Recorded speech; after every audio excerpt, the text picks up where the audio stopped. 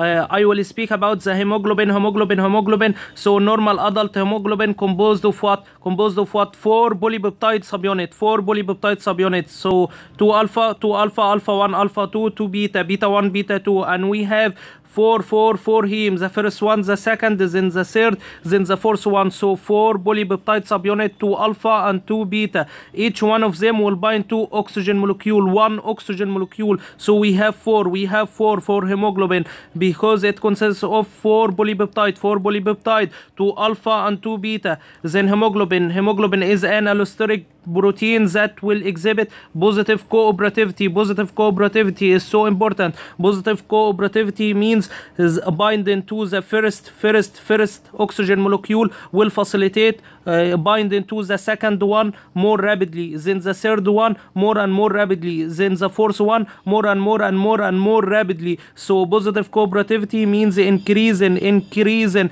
in the rapid, rapid binding of oxygen by by binding to the oxygen. So binding to the first one will facilitate the binding to the second one more rapidly. Then the third one more and more rapidly. Then the fourth one more and more rapidly. So this is positive cooperativity. So when binding to oxygen, there is what? There is oxygenated hemoglobin and there is deoxygenated hemoglobin. Oxygenated means what? It has high affinity, high affinity because the first oxygen will facilitate binding to the second, will facilitate binding to the third, will facilitate binding to the fourth. So it has high affinity because it's oxygenated, oxygenated, oxygenated, oxygenated. So it's called positive cooperativity.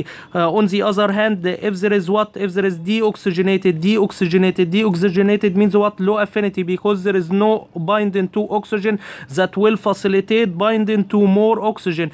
So deoxygenated, deoxygenated uh, will facilitate what? It has low affinity for oxygen, so it will facilitate unloading, unloading of oxygen. So promotes, promotes uh, and release unloading of oxygen. Deoxygenated, it has low affinity, but oxygenated, it has high affinity. It has high affinity. Then the buffer, the buffer, there, uh, if there are hydrogen ions, hydrogen ions, uh, what is the buffer for them? The protein component of hemoglobin. Protein component of hemoglobin. So protein component of hemoglobin uh, will buffer, will buffer, will act as a buffer for hydrogen ions. Then we have myoglobin and we have uh, hemoglobin. What is the difference between them? Hemoglobin, hemoglobin, four, four, four, uh, four polypeptide, four polypeptides, but myoglobin only one single, single polypeptide, single polypeptide associated with one, one, one heme, uh, one heme, one heme, but hemoglobin four polypeptide, four heme. The first one, then the second, then the third, then the fourth. So myoglobin, myoglobin has higher affinity, higher affinity for oxygen than hemoglobin. So higher affinity with hemoglobin, uh, with myoglobin because it has only single polypeptide, one heme. Facilitation of binding of oxygen uh, because it has higher affinity than than than hemoglobin than hemoglobin. Then the next one oxygen content of blood.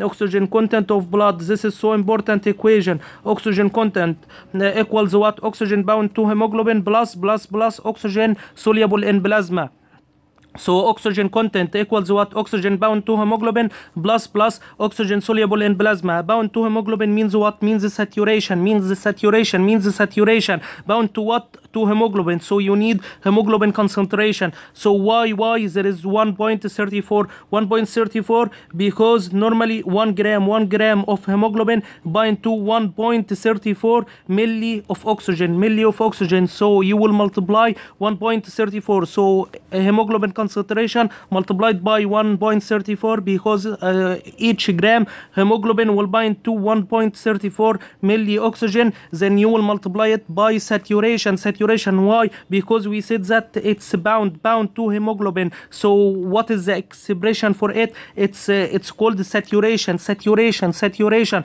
But oxygen soluble soluble in plasma. It's called what? Partial pressure of oxygen partial pressure of oxygen. So soluble in plasma. It will be multiplied by 0.003 so soluble in plasma it's called partial pressure of oxygen. Bound bound to hemoglobin it's called saturation. Saturation. This is so important. Then SA uh, O2 it's what percent of saturation of arterial uh, blood with oxygen. So saturated oxygen saturated oxygen. This is the expression of what? Of bound form to hemoglobin. Then what? Then 0.003 uh, solubility solubility constant of oxygen. This is solubility uh, constant of oxygen. Then partial pressure partial pressure of oxygen in arterial blood. Partial pressure of oxygen in arterial blood equals what solubility in plasma soluble in plasma soluble form in plasma. So it's called the pressure pressure of oxygen. Then what? Then oxygen binding. Oxygen binding carrying capacity equals what?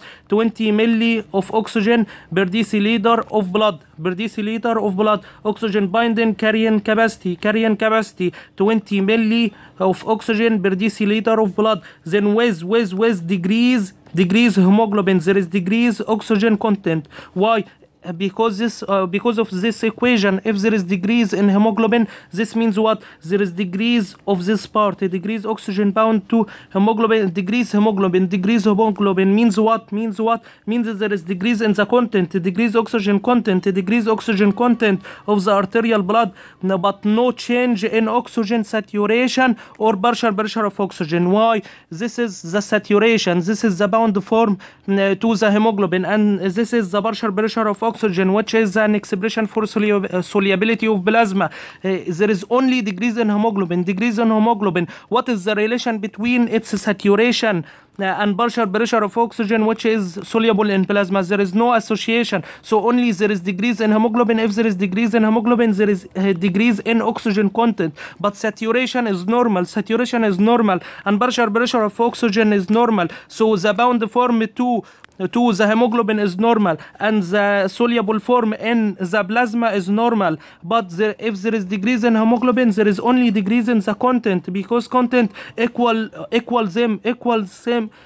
equals the sum of them the sum of them the sum of them. Then what? Then oxygen delivery to the tissue equals what? Cardiac output multiplied by oxygen content of blood. So to calculate oxygen content of blood you will do what? 1.34 multiplied by hemoglobin multiplied by saturation of oxygen. Plus plus the constant 0.003 multiplied by partial pressure of oxygen. Partial pressure of oxygen. Uh, then you will get the oxygen content you will multiply it. By the cardiac output then you will know the oxygen delivery to the tissue to the tissue then the next one this is so important. We have here the carbon monoxide poisoning carbon monoxide poisoning. This means what? The hemoglobin concentration normal normal normal. But carbon monoxide competes competes with oxygen with oxygen on hemoglobin. On hemoglobin so carbon monoxide will compete with oxygen leading to what? The saturation the saturation the saturation will decrease. The saturation will decrease. But the partial pressure of oxygen which means what? The solubility in plasma. What is the relation? It will be the normal. It will be normal. So the solubility in plasma will be normal. But if there is competition uh, with oxygen for for binding to hemoglobin. So that the saturation which is an expression of the bound form of the bound form to hemoglobin will decrease will decrease. So if there is degrees degrees degrees in the saturation this means what? There is degrees in the content degrees in the content. So the content the total oxygen content will decrease. Then the next one anemia versus polycythemia. Anemia means what? Means there is degrees in hemoglobin concentration hemoglobin concentration. So there is degrees in hemoglobin concentration but the saturation saturation normal. Partial pressure of oxygen normal. But if there is degrees in degrees in the hemoglobin concentration this means what this means what? There is degrees in the oxygen content. So here anemia anemia there is degrees in hemoglobin concentration. But the saturation the bound form normal. And the soluble form in the plasma partial pressure of oxygen normal. But the total will decrease. The total will decrease because there is degrees in the hemoglobin concentration. Polycythemia polycythemia means what? There is increase in hemoglobin concentration. So if there is increase in the hemoglobin concentration so of course the content the content will increase the content will increase. So if there is increase in the hemoglobin concentration the total total oxygen content will increase. But the saturation the saturation which is the bound form to hemoglobin will be normal. And of course the soluble form in the plasma will be normal. Then the next one met hemo- hemoglobinemia met hemoglobinemia met hemoglobinemia. So the hemoglobin concentration will be what? Will be normal. What's meant by met ferric ferric form the, the iron in ferric form. So ferric form poor at binding to oxygen. It's poor to bind to oxygen poor and the oxygen which is bound it's so difficult to unload it to unload it so it's a very poor poor at binding to new oxygen and the oxygen uh, and the ox- uh, oxygen that's bound it's difficult to unload it. It's difficult to unload it. So there is degrees in saturation of oxygen degrees in saturation of oxygen. So degrees in the bound form because because of methemoglobinemia. Means what? Means what? The the iron found in ferric form ferric form. So it's poor poor at binding to the oxygen leading to degrees degrees degrees degrees the saturation degrees the bound form. But the partial pressure of oxygen which is the soluble form in the plasma normal normal. The total will decrease. The total the total oxygen content will decrease. Why? Because there is degrees in saturation degrees in saturation. So the total content will decrease will decrease will decrease. Then cyanide toxicity means what? Means all normal or normal or normal. Why? Because this is abnormality in usage usage of tissue to this oxygen. Abnormality of usage of uh, oxygen by the tissue. Abnormality in usage of oxygen by the tissue. So there is no abnormality in the blood. The hemoglobin concentration normal. The saturation which is the bound form of hemoglobin normal. The partial pressure of oxygen the soluble form in the plasma is normal. And the total oxygen content is normal. But the tissue the tissue cannot cannot cannot use this oxygen because of cyanide toxicity. Because of cyanide toxicity. Then the next one oxyhom oxyhemoglobin dissociative curve. What's meant by this uh, shape? It's it's what? It's a sigmoid. Sigmoid letter s. Letter s it's a sigmoid. Sigmoid except myoglobin. Except myoglobin. So normally if it's hemoglobin hemoglobin this is the normal curve. The blue one the blue one the blue one. Uh, going to the right means what? Means unloading unloading of oxygen. There is low affinity low affinity to uh, to oxygen. Going to the left means it has high affinity to oxygen high affinity to oxygen. So uh, if you concentrated on myoglobin we said that we said that myoglobin myoglobin has higher affinity higher affinity than hemoglobin than hemoglobin. So losing losing of so, of sigmoid shape in case of myoglobin because there is high affinity to uh, to oxygen. So the curve will go to the left the curve will go to the left. So unloading unloading this is the normal this is the normal sigmoid shape of hemoglobin. So unloading the curve will go to the right uh, but increasing affinity. Unloading means what? Means low affinity. So it will go to the right. Uh, then if there is no unloading means the high affinity it will go to the left.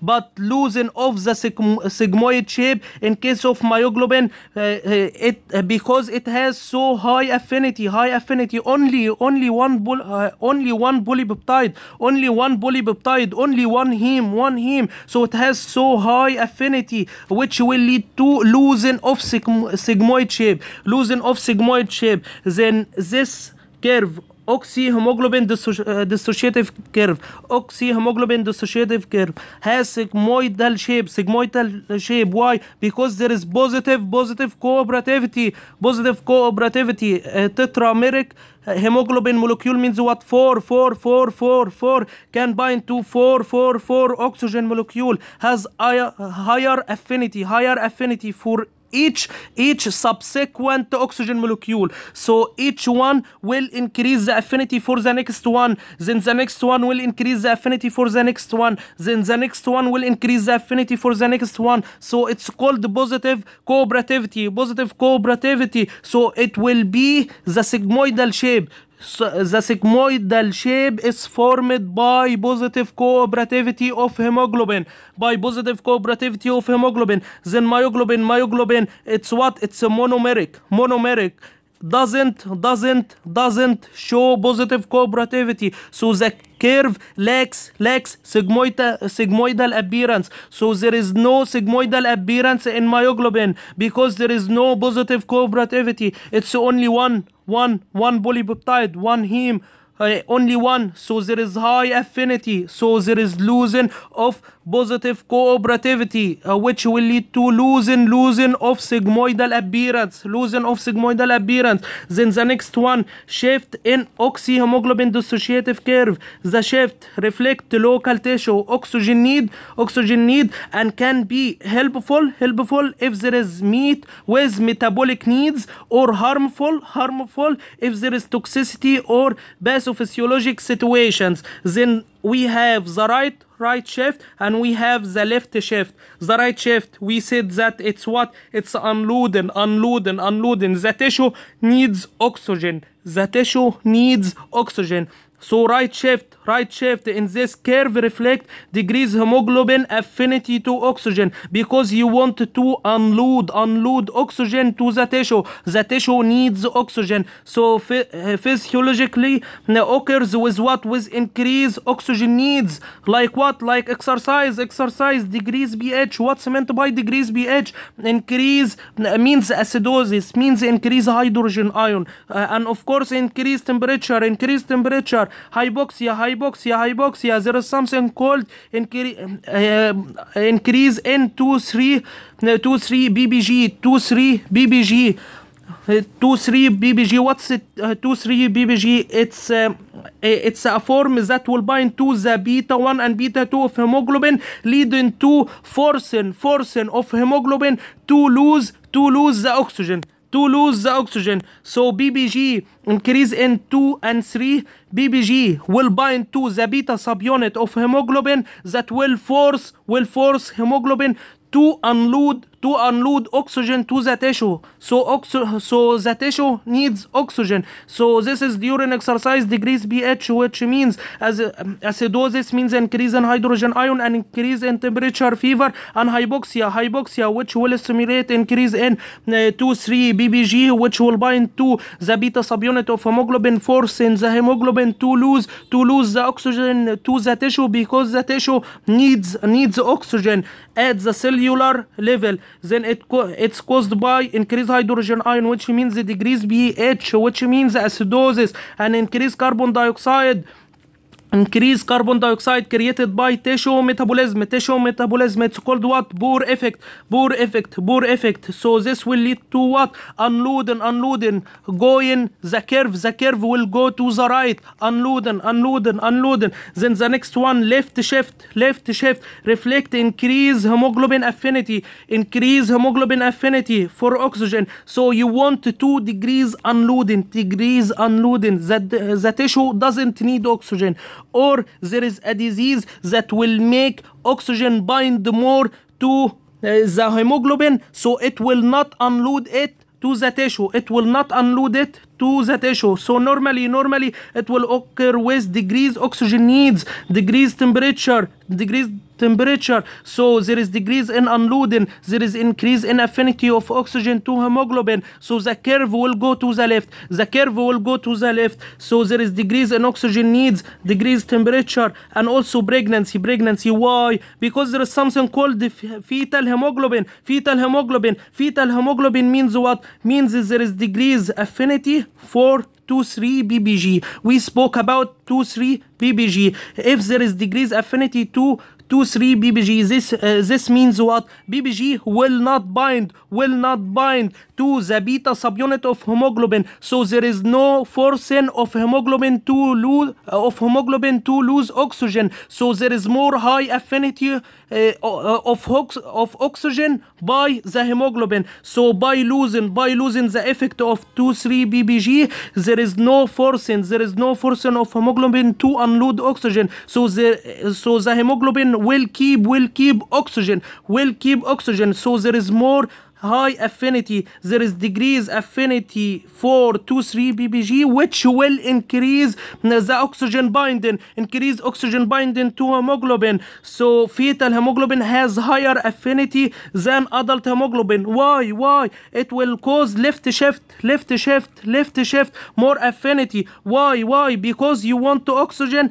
to reach from the adult hemoglobin of the mother the adult hemoglobin of the mother through through across across the placenta to reach to the fetus because the fetus has fetal hemoglobin. Fetal hemoglobin which has higher affinity than adult hemoglobin. So the oxygen will be directed from the adult form to the fetal form leading to oxygenation of the fetus. Then the next one if it's in pathologic condition there is increase in carbon monoxide. Carbon monoxide will compete will compete will compete which will and uh, it will prevent unloading of oxygen. It will prevent unloading of oxygen leading to left shift left shift left shift more higher affinity. And of course methemoglobin methemoglobin binding to the oxygen which will lead to the curve will go to the left because it will prevent oxygen unloading oxygen unloading. It will prevent it. Then if there is genetic mutation in 2 3 BPG if there is decrease in 2 3 BPG means what? There is no binding of 2 3 BPG into into the beta subunit of hemoglobin. This binding causes what? Causes unloading of oxygen. So if there is no no binding this means what? There is no unloading. Means there is higher affinity. There is so high affinity